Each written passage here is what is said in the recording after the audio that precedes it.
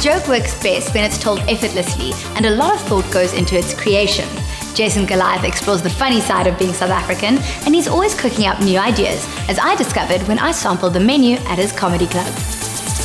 The exterior is poker faced, but the punchline was hidden inside. When I think about Mamelodi Sundowns and I think about what dance moves would be associated with Mamelodi Sundowns, the first dance move that comes to mind is definitely Kwaito. The trick that I found out about Kwaito is you've got to pull your tongue out because there's a Kwaito face. Kwaito, it's not anger, it's passion. Hello, I gotta do. Hello. How are you? So good, so good. Jason always plays my husband in the industry. I do, I do. I always get to play a husband and never actually be a husband. It's become Well, the story of my life. no, no. No. With all this cake, we can make an arrangement. Yeah, I can stack five different colors. I mean, let's make some phone calls and have a Come wedding on, today. You're go. all invited. Come to the wedding. Come. Have you always wanted to have your own comedy club? Man, I, I wish I could say I've always wanted it, but it's kind of being beyond a dream.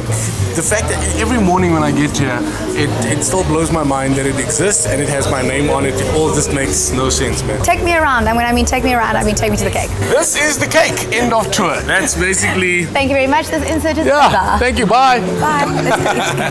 The, the, the front of the shop is Rose Cafe. We have our own bakery, we bake our own cakes, we bake our own breads, and then this is a wall of doors that opens up at night into the comedy club. Let me show you where Oh the magic God. happens. This is where the magic happens. I never thought you'd say that to me.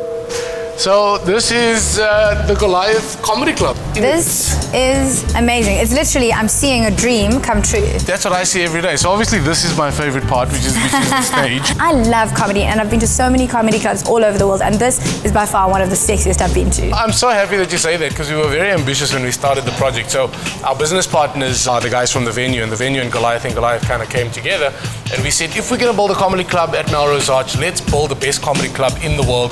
And I feel like it could stand with any comedy club in the world. We're very proud of it. So people think comedy is just about laughs, but there's a huge business aspect to it. When you look at comedy models from around the world, like you go to New York, there's over 100 comedy clubs just in the city. And I was just like, guys, we've got to have more platforms to grow the industry because this is our business. This is where we kind of make our bread and butter. The industry is now very quickly evolving and business is, uh, well, funny business is a business. So I know your folks are from Durban. Yes. And I also might have a baby addiction to bunny chow. Look, I have a baby addiction for bunny Vanessa. My mom is from Wentworth, okay, which means she understands how to cook. There was a place, an Indian place just around the corner from Wentworth called Natraj, uh, which is like which is like their marketplace. And my mom can make a biryani loose hands. Like she carries ilachi in her bag. If she found leftovers, half a glass of, glass of water, three eggs, and half a peeled potato, she could make you a lamb biryani right now. And you know she's legitimate because we call it ilachi and not cardamom. It's not cardamom. And there's it's- only one. There's three for a booby trap. Just like, because it's always, biryani is like the original prank show. And I get all three all the time because I have the biggest helping. We don't serve uh, biryani or curry here, but my kitchen manager is from Pietermaritzburg and Shital uh, always makes me a little special something something. So let's make a bunny chow at the Goliath Comedy Club. Shall we make our own bunny? Please, can we? Right, come let's go upstairs to the Okay, VIP okay. section. This is upstairs. We've got a, a beautiful cigar lounge, we've got a whiskey bar, and we've got curry. Smells delicious. Yes, well, better Okay. special order things have to smell delicious. It's amazing that you've got a sheetal for yourself. Well, I have a, a shital, shital, Shital, shital, shital. Uh, for myself, and then uh, because we don't make bunny chow, she kind of does the special for me. So Ah, super, super simple. What Okay. we do is grab a knife and uh, grab a roll. So what we're gonna do is you're gonna just cut a little hole, well, as big as you'd like. I've never made a bunny like this before. There you go. So, so then you can, yeah, then you just get your fingers in there and just empty it out as much as you can, just like that. So now you have a hole. Grab a spoon and dish up some curry Mm, into your into your bunny chow. and we've got some dhania, Of course. not coriander or Of cilantro. course. No ilachi because of my instructions. Then that's not a curry. Hey, hey, don't be ungrateful. We will enjoy this curry without any With both hands. Peace of mind is the way you will eat. With the face of happiness. This curry is amazing. I know it's amazing because my nose is running. You said you wanted an authentic Durban curry, and if it doesn't make your nose run, is it an authentic Durban curry? How would you describe your style of comedy? The honest answer is that my style of comedy is honest. A lot of comedians kind of draw their comedy from current affairs and what's happening in the media.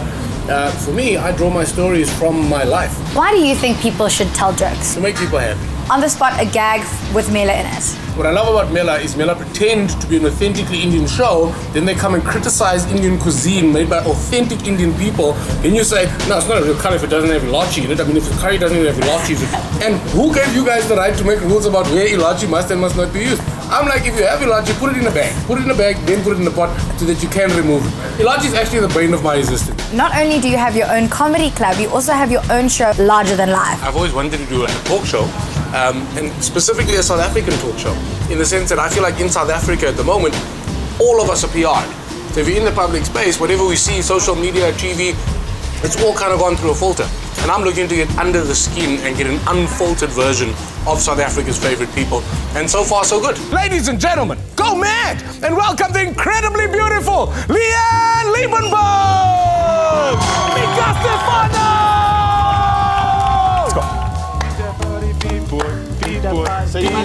Just get your leg back. I was on your show and you didn't dance with me. I only dance with people I know I can dance better than. You want Strictly Come Dancing, I left like at fifth, after five weeks. No, you're dancing with me right now. You owe me a dance. I'll give you one dance on the stage. Let's go to the stage. I'm hosting the show, guys. I'm hosting the show.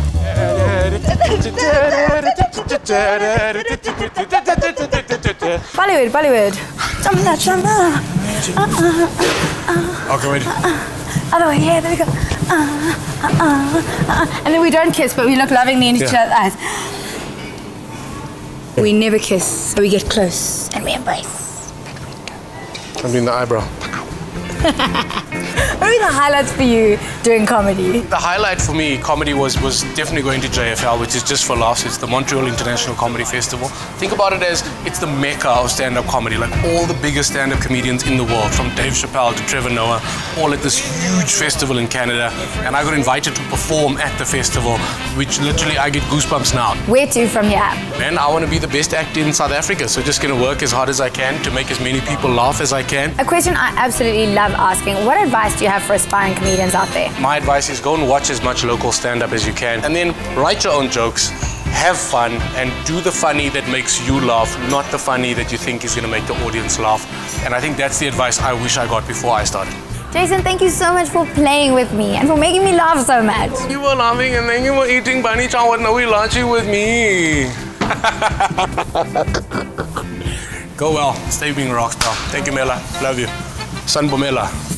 Thank you.